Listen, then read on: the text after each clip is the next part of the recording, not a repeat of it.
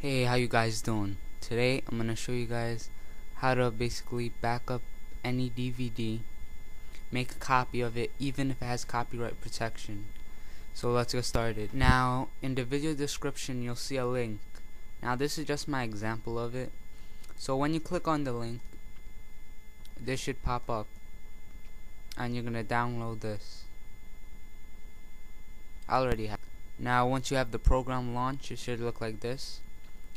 Now insert your disk into your drive, your DVD that you want to copy or make a backup of, and click open disk. Now it's gonna go to your disk drive and open your DVD. Now once your DVD is loaded it'll look like this.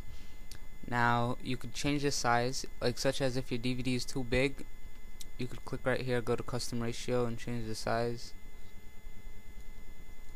but it's best if it's on all. Once you have everything organized and you're ready to back it up, go to the top, hit backup, hit OK, save it wherever you want to save it. I'll save it to my desktop to make everything easier by clicking browse and clicking on my desktop and hit OK and it's gonna start backing it up and it'll show you a really quick preview. Now once it's done you'll see all these files at your desktop and it's gonna also ask you to insert a disk so it could burn these files onto a DVD so you could basically play it through a DVD player. Now say if you don't have time or you don't have a DVD at the moment to burn it onto and you want to do this later. Now if you burn these files onto a DVD it's not gonna work. It's not gonna play in a DVD player. Here's what you're gonna have to do. Right click go to new folder now you're gonna name this folder video underscore ts.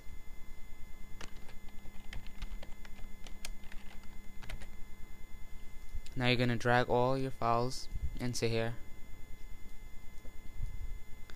Now what you do is get a program such as Nero or any program that could burn files onto DVDs and burn this folder onto your DVD and it will play in your DVD player.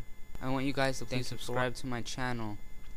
And also please subscribe to my new YouTube channel where I make song parodies. It's going to be in the video description. Just click on it.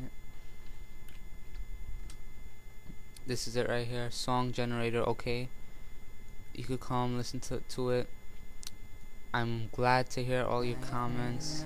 I accept all the comments that you guys have to offer so I can improve. And also, you could also request a video for like computer software or something like that. If you don't understand something in one of my videos, send me a message, comment, and thank you guys. felt so relaxed, felt so relaxed. Tragedy and strike now, my channels are blocked now. It's like I've been on some type of